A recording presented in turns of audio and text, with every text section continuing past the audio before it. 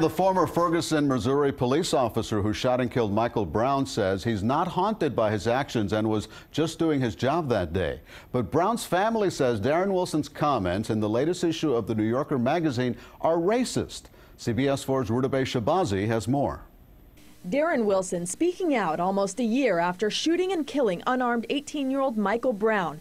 A new photo of the former Ferguson police officer accompanying a more than 20 page in depth interview by New Yorker magazine. The reporter who spent several days with him in March says the now 29 year old lives in an undisclosed new home. Very few know where. We just want to have a normal life far from Wilson's wish, which he proclaimed in an interview with ABC News nine months ago, he now says he'll only go places where there are, quote, like minded individuals, and it's not a mixing pot. And about the death that sparked national outrage, Wilson says he doesn't think of Michael Brown as a person because, quote, it doesn't matter at this point. When asked if he thought Brown was truly a bad guy, Wilson said, quote, I only knew him for those 45 seconds in which he was trying to kill me, so I don't know.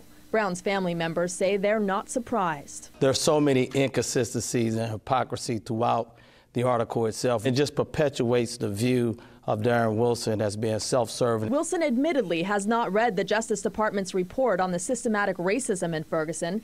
The former cop says he's, quote, not going to keep living in the past. Wilson says if you live in a high crime area with a lot of poverty, there's going to be a large police presence. He claims it's not a race issue.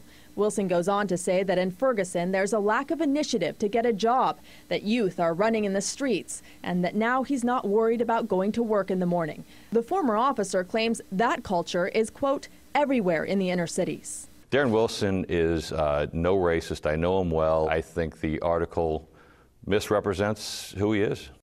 Wilson says he hasn't been able to land a new police job and that he's haunted by the death threats he's received. Rudabeh Shahbazi, CBS 4 News.